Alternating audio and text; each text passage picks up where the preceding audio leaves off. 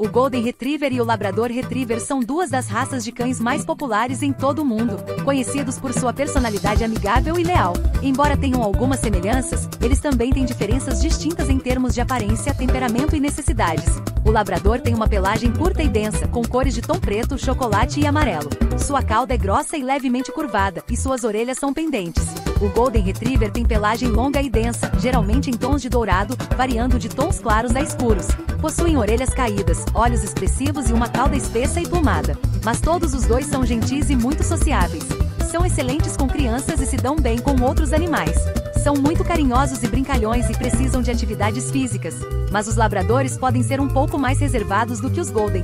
E a escolha entre um golden retriever e um labrador retriever deve ser baseada nas influências de estilo de vida, ambiente e níveis de atividade do futuro dono. Em qualquer caso, ambas as raças oferecem amor, lealdade e amizade incondicionais.